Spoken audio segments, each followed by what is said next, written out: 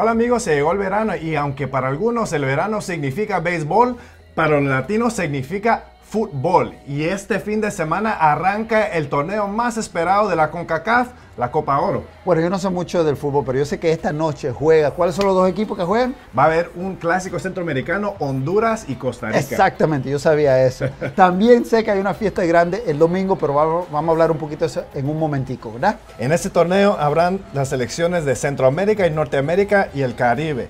Empezando con el grupo A, donde está Honduras y Costa Rica. Y obviamente esos son los dos equipos favoritos y va a ser una pelea hasta la muerte. A mí me gusta el grupo B, ¿tú sabes por qué? Porque está mi país, los Estados Unidos. Aunque tengo amigos panameños, creo que mi equipo de los Estados Unidos sale del grupo B. Y en el grupo C está México. Y básicamente ellos son los favoritos. Mis disculpas a los amigos No, salvadoreños. no, no, no, no, no. Salvador, yo estoy con ustedes. Salvadoreñas especialmente, estoy con ustedes.